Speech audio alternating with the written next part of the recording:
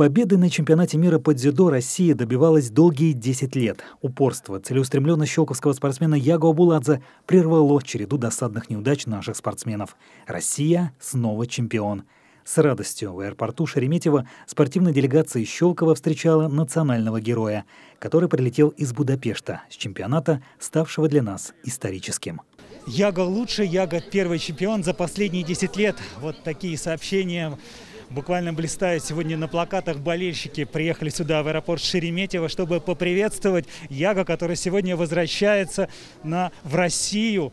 И, конечно же, мы спросим у него, какие у него первые впечатления об этом бое. Ведь многие хотят услышать и увидеть Яга победителя. Яга тренировался со мной э, в одном зале.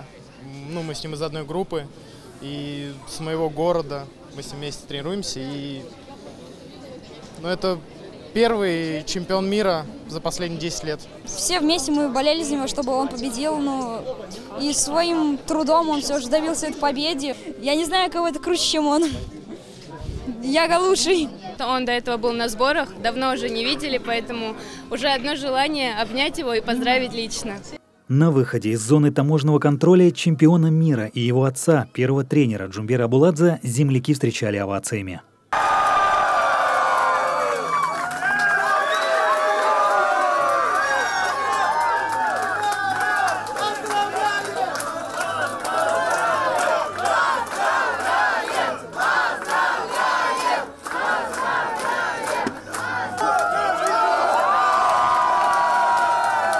Очень приятно, много людей меня встретили, не ожидал. Каждый спортсмен мечтает стать чемпионом мира, чемпионом Олимпийских игр. Уехали только за золото.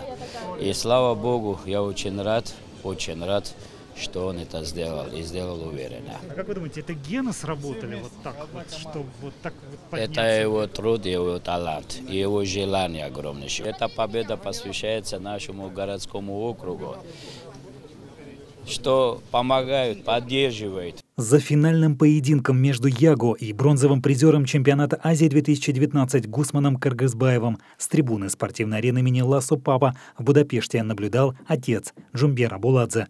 Может, родительские чувства помогли в нужный момент схватки. Ягу применил бросок на ипон, положа соперника на лопатки. Для Буладзе чемпионат мира первый в карьере. Поздравительную телеграмму с триумфальной победой Ягу направил президент Владимир Путин. Как любой футболист, там отработанные удары бьет штрафные. Так же, как и, так и я всю жизнь тренировался, отрабатывал все и сделал то, что умею. Технику дзюдо будущий чемпион начинал оттачивать в Щелковской спортшколе. Лет 6-7 он уже вот начал ходить к отцу. И вот всю жизнь как бы рос, э, занимался. Для нас великое событие, история. Мы к этому стремились. Впереди Олимпиада, как бы очень серьезные старты. Э, готовиться нужно дальше, побеждать. До игр в Токио остается полтора месяца, и Яго Абуладзе на победу серьезно настроен. В ближайшие дни станет известно, кто войдет в состав национальной сборной. Михаил Налетов, Игорь Поляков. Щелковское телевидение.